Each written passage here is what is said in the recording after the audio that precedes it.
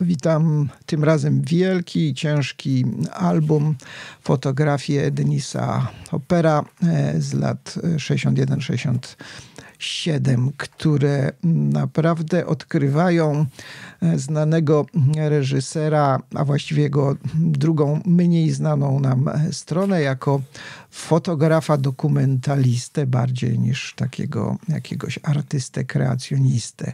Mamy tu kilka rozdziałów, według których te fotografie opera są pogrupowane. Mamy duże wprowadzenie na początku, które opowiada o tym, o drodze Hoppera przed tym, nim zajął się fotografią, o jego karierze aktorskiej, o wielkim kręgu jego przyjaciół z lat 60. i 70., którzy należeli wszyscy do wybitnych e, twórców kultury, i przez to właśnie na jego zdjęciach możemy e, bliżej się im przyjrzeć w niektórych rozdziałach.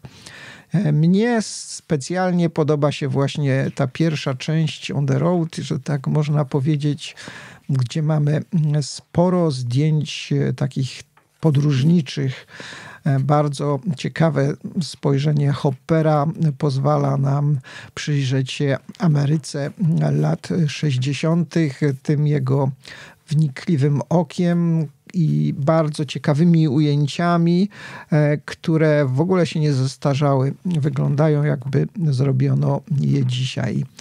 E, druga duża część to Hollywood. Wiadomo, był aktorem, był reżyserem, a więc miał możliwość dostępu na wszystkie plany zdjęciowe i mógł dokumentować życie pozaartystyczne i artystyczne wielu wybitnych e, postaci z tamtych czasów i możemy właśnie na tych stronach je prześledzić.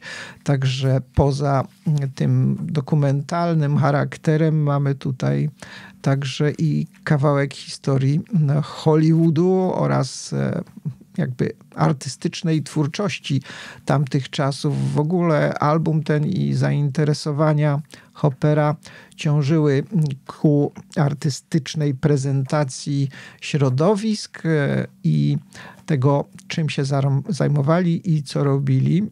Pod koniec jest bardzo obszerny fragment omawiający pozostałe aspekty twórczości Denisa Hoppera.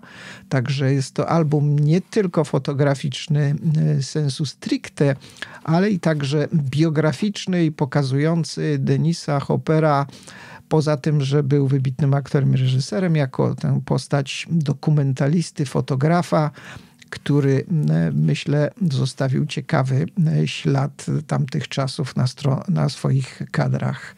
Dziękuję, do usłyszenia.